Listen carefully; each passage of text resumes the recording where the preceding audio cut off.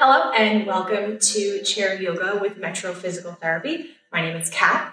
Let's get started. So we're going to start today in a chair, whatever chair you have, kitchen chair, folding chair, even on your couch cushion, honestly, if that is something that you have and just something to get you moving. We're going to start in a comfortable position, feet flat on the floor. Roll the shoulders back, relax them down. See if you can unclench some of the muscles in your face and just find a comfortable position for your hands. Take a nice deep breath in through the nose. And exhale, let it all out through the mouth, side ear out. Again, inhale through the nose. You can close the eyes here. Exhale out the mouth. Again, inhale.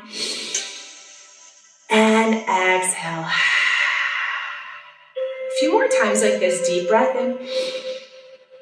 Strong breath out. Inhale. And exhale. Allowing that breath now to return back to a natural pace, keeping your concentration on the breath, allowing that to move us through our postures. We're going to start just warming up the neck here, taking your ear and reaching it down over to one shoulder. Keeping the shoulder blades pulled back, nice tall spine. And bringing the head back through center and tipping it over to the other side. Again, keeping that breath at a natural pace, but concentrating on the inhales and the exhales, slowly bringing that head back up. And now tipping the chin down towards the chest, feeling a stretch through the back of the neck.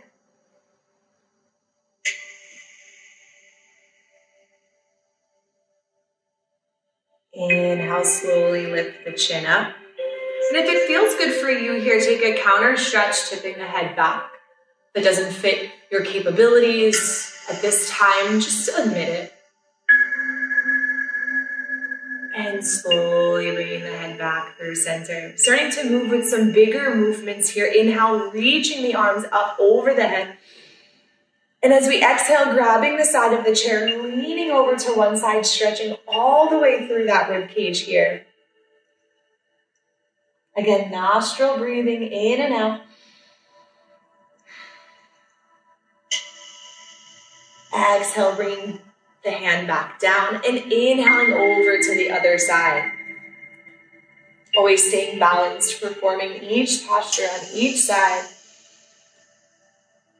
Noticing that one side might feel a little bit different than the other, that's okay. And coming back through center.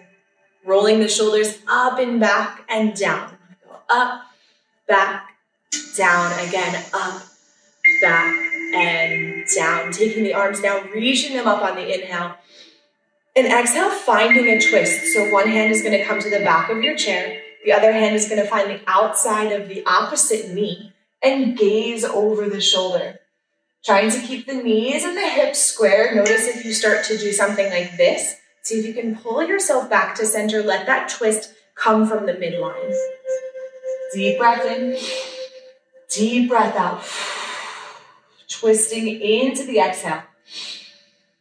And exhale, twist. Inhale Inhaling, untwist, reach the arms up.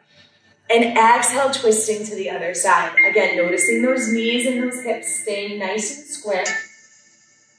See if you can rotate the gaze to go over the shoulder.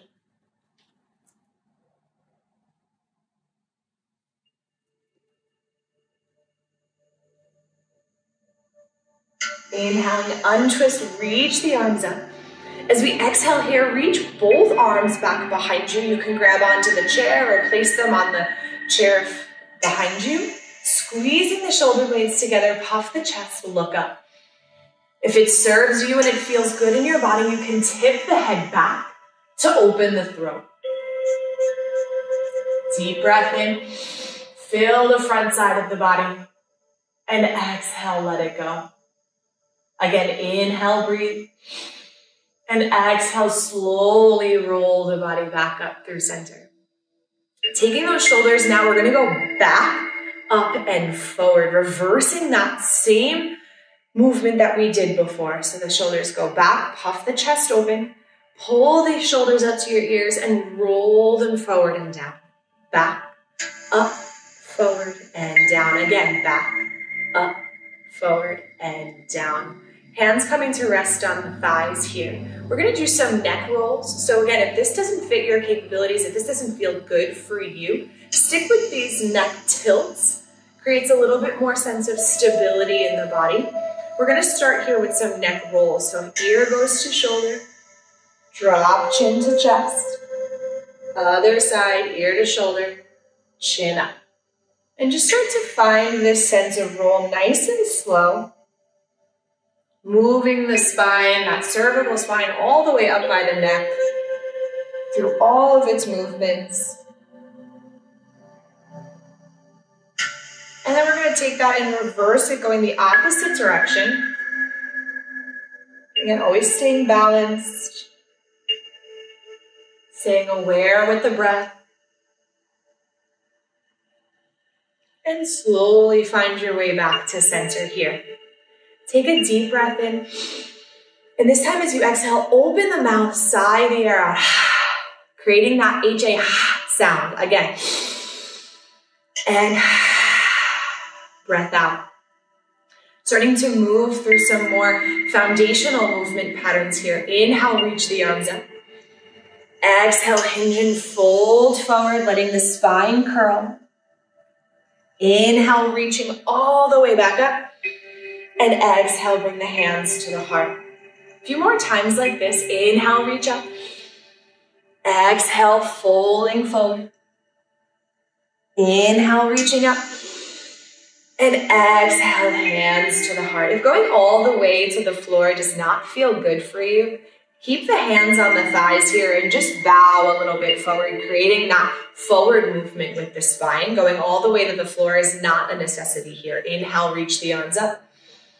And exhale, fold whichever way serves you. Inhale again, reaching up. Maybe you find a little bit of an extension through the spine here. Reach the fingertips back.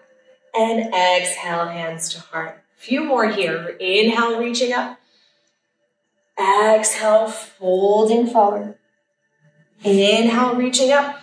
Again, maybe you find an extension back, maybe you don't. And exhale, hands to heart center. Slowly releasing the hands again back down to the thighs. We're gonna start here today with a hamstring stretch, but first we're gonna prep for that hamstring stretch. The hamstrings are those muscles all the way through the back of the legs. Interlacing all 10 fingers here, creating a little bit of a webbing. We're gonna reach down and grab the front of one of our knees. We'll do both sides, so whichever knee you wanna start with. Hips stay square, so notice if you start to roll one hip open or pull it in, that internal rotation, we're trying to keep the hip really square towards the front of the room. Interlacing again, all 10 fingers, grabbing the front of the knee. We're gonna pull the knee up and into the chest. So pull the shoulders together in the back, open up the heart, grabbing onto the front of the knee and pull. So you wanna feel compression here in the hip, in the front of the hip. Flex the foot, other foot flat on the ground and breathe. Breathing into that compressed hip. And exhale, let it go. Breathing in and breathing out. Again, breathe in and breathe out. Slowly start to release that leg back down to the earth. And then extend it out in front of you. Heel finds the floor, toes reach up to the ceiling. Inhale, reaching both arms up. Exhale, reaching down towards that extended leg. I like to put my opposite hand up on my knee for stability here and bringing awareness that this leg is still engaged. It's not floppy and hanging out here. It's still part of the pose. Chest is leaning forward, so we're engaged through the trunk. Can grab peace sign fingers, wrap around the big toe here if that serves you. If not, your hand can rest on the calf, the ankle, the foot. And breathing into the space in the back of the leg here.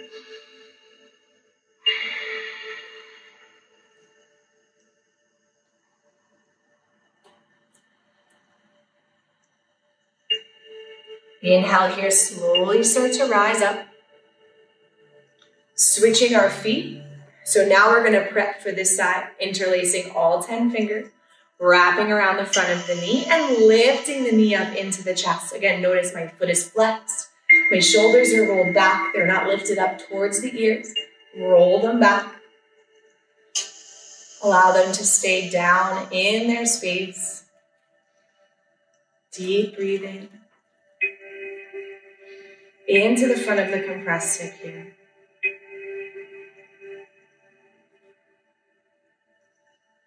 Exhale, slowly release that leg down, extending it out in front of you here. Inhale, reach the arms up. And exhale, find that fold forward. One side is always kind of going to feel a little bit more flexible than the other side. Avoid placing judgments or saying one side's worse. They're just different. Folding into this space here, keeping the back straight. Chest is open. Might feel this stretch even a little bit through the lower back. Again, if anything is painful, pull back. You do want to feel a little bit of sensation, but not pain. Find that edge of comfort between the two. And inhale, slowly start to lift up, bringing that leg back right under the knee. So our hips, our knees, and our ankles are all at 90 degrees. And we're gonna take this and we're gonna move through a full forward fold here. So both legs are going to extend out in front of us. I like to try and zip my legs up here like I have a mermaid tail. That doesn't fit your capability levels. You can open them up a bit here. So feet come together, feet come to a place that feels good for you. Inhale, reaching up. And then exhale, reaching forward. You might have to scooch your tush back in your chair a little bit more for support if this feels kind of scary reaching forward. Again, that chest is open. Notice how I'm not doing this. My back is flat.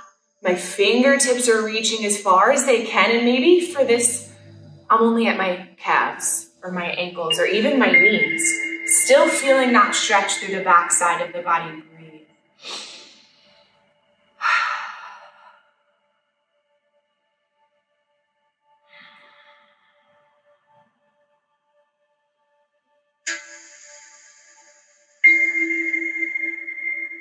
As we inhale, slowly roll the body up one vertebrae at a time.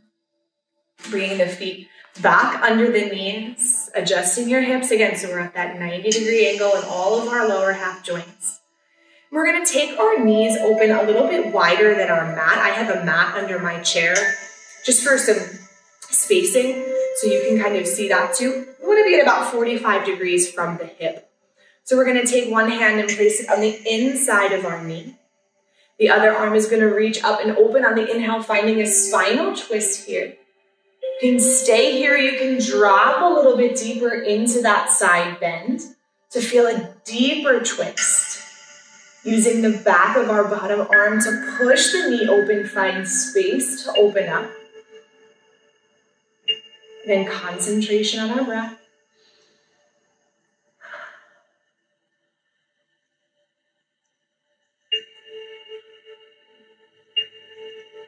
And inhale, coming back to center.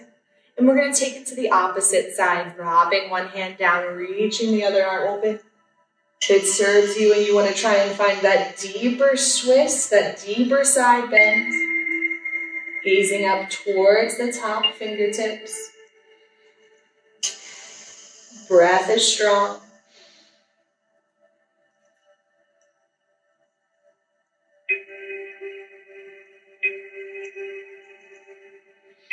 Inhaling, coming back through center. Hands are going to come down onto the knees here. We're going to roll the spine down. Keeping the hands on the knees. We're just finding that forward fold with the spine. And then inhaling, coming up, pull the shoulder blades back, arching the spine. So inhale, we're going to curl the spine, look down. Exhale, open the heart, pull the shoulder blades open. So this is our modified cat-cow movement. Inhale, curl the spine. Exhale, open up. Again, inhale, curl. Exhale, open. Last one. Inhale, curl. Exhale, open up. Slowly walking the feet back together.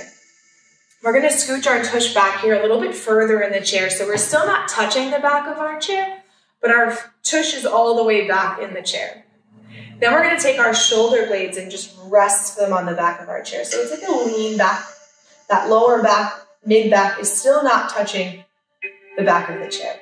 Coming up onto our tippy toes here, and let the hands drop out to either side. We're just gonna let those knees tip over to one side. So we're creating, in essence, a supine twist where we would be lying down on our back. For the purposes of this class, we're in a chair. So we're creating that sensation, subtle twisting through the belly. If you wanna try and create a deeper sensation here, you can cross the legs. So the side opposite of where we're twisting to would cross over. And then place the hand on top of the knee to give a little bit of pressure. And you can gaze over to the opposite side, really inviting a deeper twist here.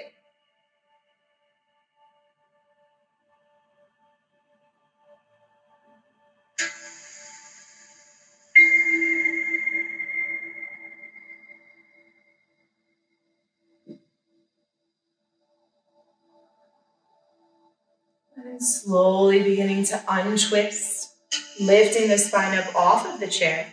We're gonna take that to the other side. So again, dropping the shoulder blades back, readjusting your sense of center, tipping the knees over to the other side. Arms can lay down beside you. Again, whatever version of this shape on this side serves you. So if you want to cross that leg over, use the hand and gaze to the opposite side, or you can just stay right here.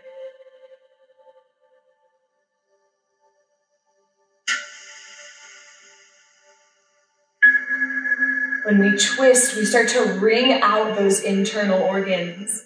We stimulate the adrenal gland, aid in digestion.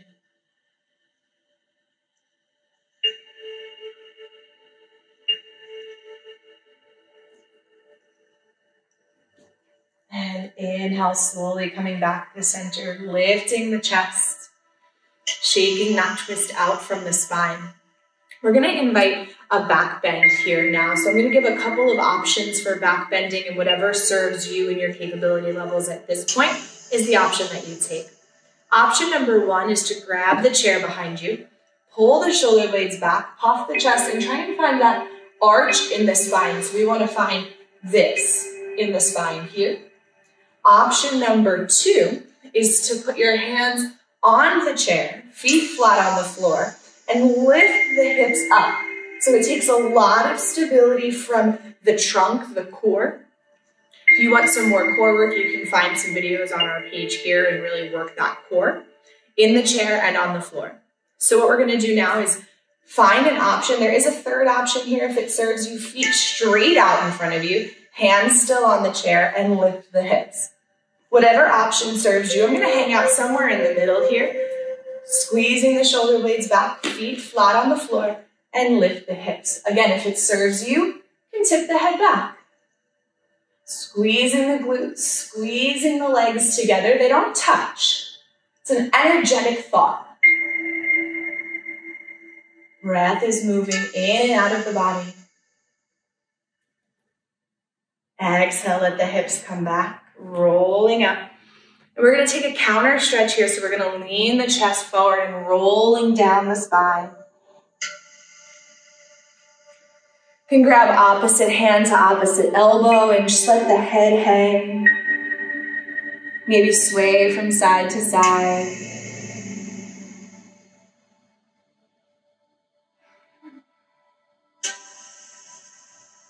Letting the hands drop back down and slowly rolling up coming into our final resting pose. Scooching the tush all the way back on the chair. Back is flat against the surface of the back of the chair. Hands come down to find the thighs. Hands up, hands down, whatever serves you. And just start to close the eyes here. Bringing your concentration back to that deep breathing.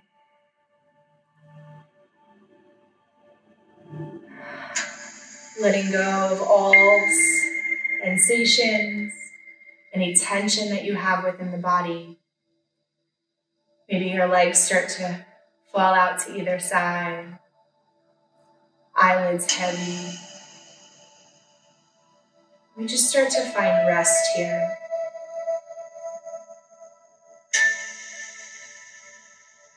We rest at the end of our yoga practice to allow all of that good stuff that we've just done for the past few moments to really seep into our bones, reap all the benefits.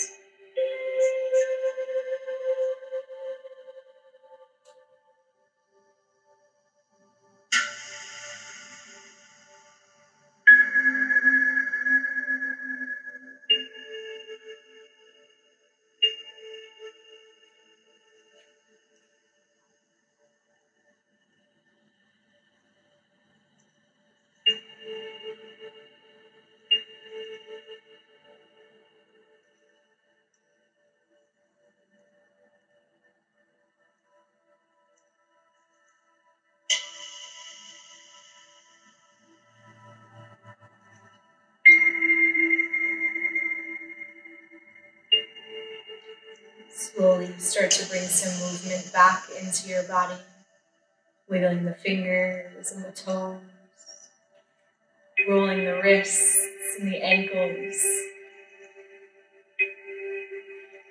Taking a deep breath in, reach the arms up, full body stretch here like it's the first one you take in the morning. And then exhale, slowly start to lift the chest, coming up to a seat. Hands come to heart center.